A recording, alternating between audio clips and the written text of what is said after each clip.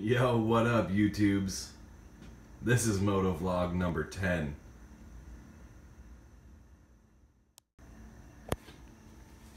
So as I mentioned in Motovlog number 9, I wanted to show how I got my nice setup for the chin mount on the helmet. As you can see, I have the nice adhesive mount base right there, kind of on the cheek side, just past all the vents. And it works pretty well. The only thing I don't like, and I don't know if you can see this on the camera, is that it seems to be pulling off a little bit in the front. But so far, it's solid and, you know, nothing seemed to uh, come off on it. So let's go ahead and put that mount on.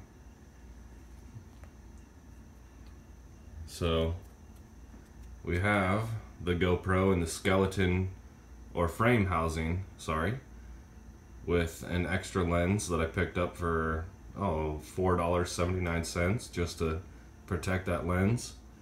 I like keeping it naked. It's more friendly, lighter weight, not as bulky. Uh, then we got the 90 degree with the long, short, short, short, short. And these straight pieces right there are key. That's what's really gonna make this work well. I don't know if I can hold it and get that in there, so bear with me.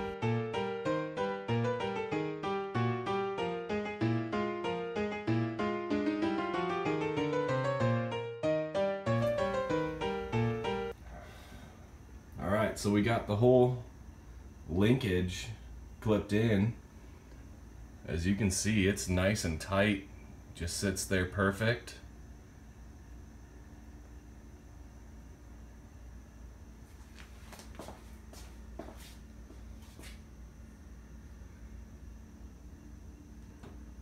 And pretty well centered too, from what I can figure out.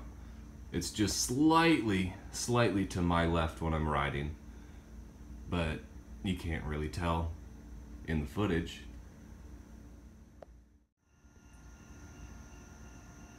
So let's talk about that mic setup that I have going on. Right now, I just have the extension of the cord coming out from the helmet what I like to do is wrap it around the mount right here and then it plugs into the adapter. The adapter I have inside so you can't really see that but I have the straight piece adapter and most other riders have the flush one that is a 90 degree plug.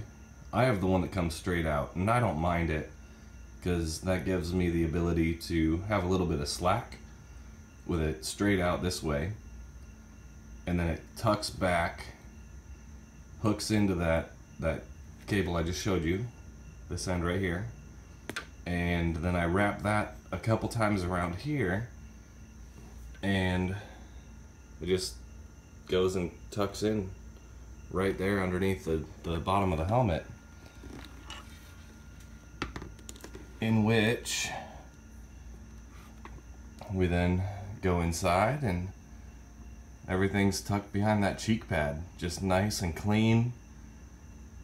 And the microphone just sticking out the cheek pad just a little bit right there.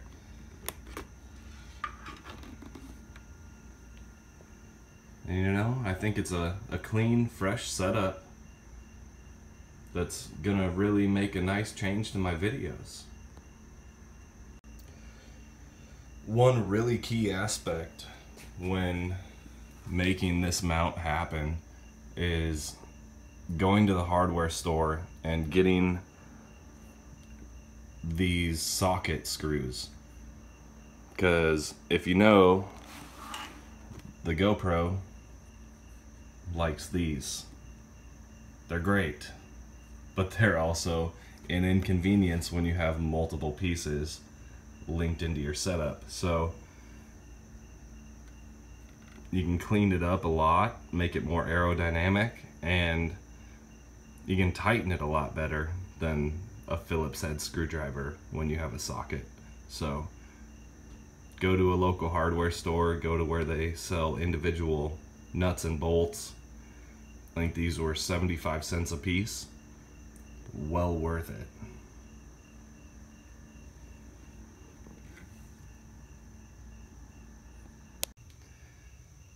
So with that said, guys, I hope you enjoyed watching it. As always, like, comment, subscribe. Let me know what you think about my setup. And until Moto Vlog number 11, this is 402, signing out.